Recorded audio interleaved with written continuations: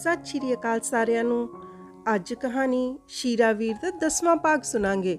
ਜਿਨ੍ਹਾਂ ਨੇ ਕਹਾਣੀ ਦੇ ਪਿਛਲੇ ਭਾਗ ਨਹੀਂ ਸੁਨੇ ਡਿਸਕ੍ਰਿਪਸ਼ਨ ਬਾਕਸ ਵਿੱਚ ਲਿੰਕ ਦਿੱਤੇ ਹੋਏ ਨੇ। ਤੁਸੀਂ ਉਸ ਲਿੰਕ ਤੇ ਕਲਿੱਕ ਕਰਕੇ ਕਹਾਣੀ ਨੂੰ ਸੁਣ ਸਕਦੇ ਹੋ। ਜੋ ਵੀ ਦਰਸ਼ਕ ਚਾਹੁੰਦੇ ਨੇ ਕਿ ਮੈਂ ਉਹਨਾਂ ਦਾ ਨਾਮ ਆਪਣੀਆਂ ਆਉਣ ਵਾਲੀਆਂ ਵੀਡੀਓਜ਼ ਵਿੱਚ ਲਵਾਂ, ਤੁਸੀਂ ਆਪਣਾ ਨਾਮ ਤੇ ਆਪਣੇ ਸ਼ਹਿਰ ਦਾ ਨਾਮ ਕਮੈਂਟ ਬਾਕਸ ਵਿੱਚ ਲਿਖ ਸਕਦੇ ਹੋ। ਹੁਣ ਕਹਾਣੀ ਸ਼ੁਰੂ ਕਰਦੇ ਹਾਂ। ਕਲੇਸ਼ ਘਟਣ ਦੀ ਬਜਾਏ ਰੋਜ਼ ਦੀ ਰੋਜ਼ ਵੱਧਦਾ ਜਾ ਰਿਹਾ ਸੀ। ਕੋਈ ਐਸਾ ਵੀ ਤਾਂ ਨਹੀਂ ਸੀ ਕੋਲ ਜੋ ਬਿਠਾ ਕੇ ਦੋਵਾਂ ਦੀ ਸੁਲਾ ਸਫ਼ਾਈ ਕਰਵਾ ਦੇਵੇ। ਕਰਤਾਰੋ ਨੇ ਆਪਣੇ ਵੱਲੋਂ ਬਹੁਤ ਕੋਸ਼ਿਸ਼ ਕੀਤੀ ਕਿ ਸ਼ੀਰੇ ਦਾ ਘਰ ਬਚਿਆ ਰਹਿ ਜਾਵੇ। ਉਸਨੇ ਸ਼ੀਰੇ ਨੂੰ ਬੁਲਾ ਕੇ ਸਮਝਾਇਆ, ਜਦੋਂ ਸ਼ਰਨ ਮੋਰੇ ਬੋਲਦੀ ਹੈ ਨਾ, ਤੂੰ ਹੀ ਚੁੱਪ ਕਰ ਜਾਇਆ ਕਰ ਪੁੱਤ। ਥੋੜੇ ਹੀ ਸਮੇਂ ਦਾ ਗੁੱਸਾ ਹੁੰਦਾ ਬੈਸਨ ਨਾਲੋਂ ਕੁਝ ਹੋਰ ਹੀ ਬਣ ਜਾਂਦਾ ਹੈ ਲੜਾਈ ਦਾ ਮੂੰਹ ਕਾਲਾ ਹੁੰਦਾ ਪੁੱਤ। ਤੁਹਾਡੇ ਬੱਚੇ ਅਜੇ ਛੋਟੇ ਨੇ। ਜਦੋਂ ਤੁਸੀਂ ਲੜਦੇ ਹੋ ਨਾ, ਮੈਂ ਦੇਖਿਆ ਉਹ ਬਿੱਲੀ ਦੇ ਬਲੂੰਗੜਿਆਂ ਵਾਂਗੂ ਕੰਧਾਂ ਨਾਲ ਚਿੰਬੜ ਜਾਂਦੇ ਨੇ।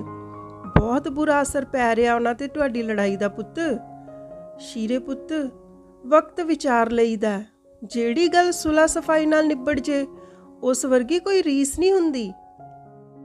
ਸ਼ੀਰਾ ਉਦਾਸ ਹੋ ਕੇ ਬੋਲਿਆ, ਮਾਂ ਜੀ, ਮੈਂ ਤੇ ਹਰ ਤਰ੍ਹਾਂ ਨਾਲ ਕੋਸ਼ਿਸ਼ ਕਰਕੇ ਦੇਖ ਲਈ। ਹੁਣ ਤਾਂ ਗੱਲ ਮੇਰੇ ਬੱਸੋਂ ਬਾਹਰ ਹੋ ਗਈ ਲੱਗਦੀ ਹੈ। ਤੁਸੀਂ ਸਮਝਾ ਕੇ ਦੇਖ ਲਵੋ ਇੱਕ ਵਾਰ। ਉਧਰ ਪਵਾੜਾ ਵਧਾਉਣ ਵਾਲੀ ਨੇ ਵੀ ਕੋਈ ਕਸਰ ਨਹੀਂ ਸੀ ਛੱਡੀ ਉਂਗਲ ਲਾਉਣ ਵਿੱਚ। ਮੈਡੀ ਨਾਲ ਸ਼ਰਨ ਆਪਣੇ ਘਰ ਦੀ ਹਰ ਗੱਲ ਸਾਂਝੀ ਕਰ ਰਹੀ ਸੀ। ਮੈਡੀ ਜਿਵੇਂ ਆਪਣੇ ਨਾਲ ਹੋਈਆਂ ਵਧੀਕੀਆਂ ਦਾ ਬਦਲਾ ਲੈ ਰਹੀ ਹੋਵੇ ਸ਼ੀਰੇ ਕੋਲੋਂ, ਉਸਨੇ ਉਹਨਾਂ ਦੀ ਤਕਰਾਰ ਨੂੰ ਅਹਿਮ ਦੀ ਲੜਾਈ ਬਣਾ ਦਿੱਤਾ ਸੀ। ਮੈਡੀ ਸ਼ਰਨ ਨੂੰ ਕਹਿ ਰਹੀ ਸੀ, ਸ਼ਰਨ, ਜੇ ਤੂੰ ਇਸ ਵਾਰ ਆਪਣੀ ਗੱਲ ਨਾ ਮਨਵਾ ਸਕੀ ਨਾ ਤਾਂ ਬਾਕੀ ਦੀ ਸਾਰੀ ਉਮਰ ਸ਼ੀਰੇ ਦੇ ਥੱਲੇ ਲੱਗ ਕੇ ਰਹਿਣਾ ਪੈਣਾ ਤੈਨੂੰ। ਇਹ ਤੇਰਾ ਰਾਈਟ ਚਾਂਸ ਆ, ਆਪਣੇ ਆਪ ਨੂੰ ਪ੍ਰੂਵ ਕਰਨ ਦਾ। ਜੇ ਤੂੰ ਨਾ ਹੁੰਦੀ, ਤਾਂ ਸ਼ੀਰੇ ਨੂੰ ਤਾਂ ਕਿਸੇ ਵੀਜ਼ਾ ਵੀ ਨਹੀਂ ਸੀ ਦੇਣਾ Canada the. He should be thankful to you ਉਹ ਤੇ ਕੁਝ ਹੋਰ ਹੀ ਕਰੀ ਜਾਂਦਾ। ਸਵੇਰੇ ਜਦੋਂ ਸ਼ਰਨ ਕੰਮ ਤੋਂ ਆਈ, ਕਰਤਾਰੋ ਨੇ ਆਵਾਜ਼ ਮਾਰ ਲਈ। ਸ਼ਰਨ ਪੁੱਤ, ਗੱਲ ਸੁਣ ਕੇ ਜਾਈ। ਹੱਥ ਜੋੜ ਕੇ ਖੜ ਗਈ ਆ ਕਰਤਾਰੋ ਸ਼ਰਨ ਅੱਗੇ। ਦੇਖਤੀ ਏ ਤੇਰੀ ਮਾਂ ਵਰਗੀ ਆ ਮੈਂ।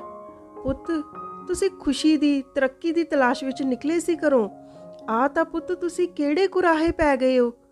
ਪੁੱਤ, ਇਨ੍ਹਾਂ ਦੇਸ਼ਾਂ ਵਿੱਚ ਕਿਸੇ ਨੇ ਨਹੀਂ ਸਮਝਾਣਾ ਤੁਹਾਨੂੰ। ਕਿਸੇ ਕੋਲ ਵਕਤ ਹੀ ਨਹੀਂ ਹੈ ਕਿਸੇ ਦੇ ਲਈ, ਨਾ ਹੀ ਕਿਸੇ ਦੀ ਗੱਲ ਸੁਣਨ ਦਾ। ਹਾਂ ਪੁੱਤ, ਤੁਹਾਡਾ ਘਰ ਪੱਟ ਕੇ ਤਮਾਸ਼ਾ ਦੇਖਣ ਵਾਲੇ ਬਹੁਤ ਮਿਲ ਜਾਣਗੇ। ਹੁਣ ਵੀ ਸੰਭਲ ਜਾਓ ਪੁੱਤ। ਡੁੱਲੇ ਪੇਰਾਂ ਦਾ ਅਜੇ ਵੀ ਕੁਝ ਨਹੀਂ ਵਿਗੜਿਆ। ਜੀ ਮਾਂ ਜੀ, ਕਹਿ ਕੇ ਸ਼ਰਨ ਬੇਸਮੈਂਟ ਵਿੱਚ ਉਤਰ ਗਈ। ਥੋੜੀ ਦੇਰ ਬਾਅਦ ਫੇਰ ਲੜਨ ਦੀਆਂ ਆਵਾਜ਼ਾਂ ਆ ਰਹੀਆਂ ਨੇ। ਸ਼ਰਨ ਕਹਿ ਰਹੀ ਹੈ, ਜੇ ਮੈਂ ਕੋਈ ਗੱਲ ਕਰਾਂ, ਤਾਂ ਉਹ ਚੁਗਲੀ ਹੋ ਗਈ। ਤੇ ਤੂੰ ਲੋਕਾਂ ਨਾਲ ਗੱਲਾਂ ਕਰੇ, ਤਾਂ ਉਹ ਸਲਾਹ مشਵਰਾ ਤੇਰੇ ਕਹਿਣ ਤੇ ਲੋਕ ਹੁਣ ਮੈਨੂੰ ਤੁਰੀ ਜਾਂਦੀ ਨੂੰ ਖੜਾ ਕੇ ਨਸੀਤਾ ਦਿੰਦੇ ਨੇ। ਮੈਂ ਤਾਂ ਪਾਗਲ ਹੋ ਗਈ ਆ। ਦੂਸਰੇ ਦਿਨ ਜਦੋਂ ਸ਼ਰਨ ਤੇ ਮੈਡੀ ਕੰਮ ਤੇ ਜਾ ਰਹੀਆਂ ਸਨ, ਤਾਂ ਸ਼ਰਨ ਬੋਲੀ, ਇਸ ਤਰ੍ਹਾਂ ਤਾਂ ਬਹੁਤ ਔਖਾ ਹੋ ਗਿਆ ਜੀਣਾ ਮੈਡੀ ਨੂੰ ਲੱਗਿਆ ਕਿ ਹੁਣ ਲੋਹਾ ਪੂਰਾ ਗਰਮ ਹੈ, ਹੁਣ ਸੱਟ ਮਾਰਨੀ ਚਾਹੀਦੀ ਹੈ। ਉਹ ਕਾਰ ਚਲਾਉਂਦੀ ਹੋਈ ਬੋਲੀ, ਸ਼ਰਨ, ਮੈਨੂੰ ਲੱਗਦਾ ਤੈਨੂੰ ਸ਼ੀਰੇ ਕੋਲੋਂ ਡਾਈਵੋਰਸ ਲੈ ਲੈਣਾ ਚਾਹੀਦਾ। Take your kids with you and live alone ਇਸ ਬੰਦੇ ਨੂੰ ਫਿਰ ਸਮਝ ਆਵੇਗੀ ਕਿ ਔਰਤ ਕੀ ਹੁੰਦੀ ਹੈ। ਤੂੰ 20ਵੀਂ ਸਦੀ ਦੀ ਲੇਡੀ ਹੈ ਤੈਨੂੰ ਆਪਣੇ ਰਾਈਟਸ ਨਾਲ ਜਿਉਣ ਦਾ ਪੂਰਾ ਹੱਕ ਹੈ ਜਿਸ ਵਕੀਲ ਨੇ ਮੇਰਾ ਤਲਾਕ ਕਰਵਾਇਆ ਸੀ। ਇਫ ਯੂ ਸੇ ਮੈਂ ਉਸ ਨਾਲ ਤੇਰੀ ਅਪਾਇੰਟਮੈਂਟ ਫਿਕਸ ਕਰਵਾ ਦਿੰਦੀ ਆ। ਕੁਝ ਤੇ ਕਰਨਾ ਹੀ ਪੈਣਾ ਮੈਡੀ। ਰੋਜ਼-ਰੋਜ਼ ਦੀ ਲੜਾਈ ਤਾਂ ਮੈਨੂੰ ਪਾਗਲ ਕਰ ਦੇਵੇਗੀ। ਸ਼ਰਨ, ਮੈਡੀ ਦਾ ਹੱਥ ਫੜਦੀ ਬੋਲੀ।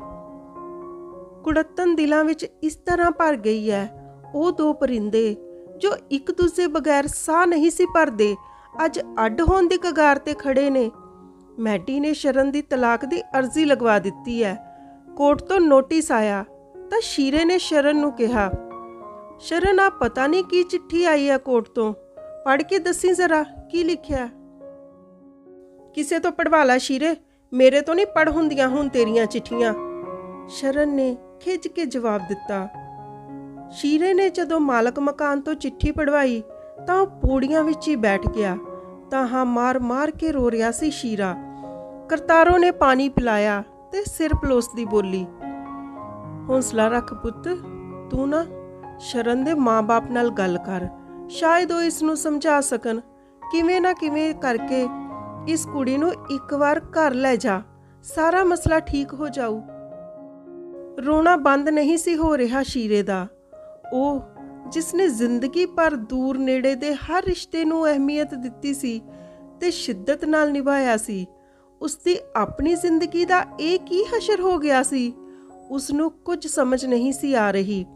ਉਸ ਨੇ ਜਦੋਂ ਬੇਸਮੈਂਟ ਵਿੱਚ ਜਾ ਕੇ ਸ਼ਰਨ ਨਾਲ ਗੱਲ ਕਰਨੀ ਚਾਹੀ, ਤਾਂ ਉਹ ਬੋਲੀ, ਹੁਣ ਤੇਰੀ ਹਰ ਗੱਲ ਦਾ ਜਵਾਬ ਮੇਰਾ ਵਕੀਲ ਦੇਵੇਗਾ।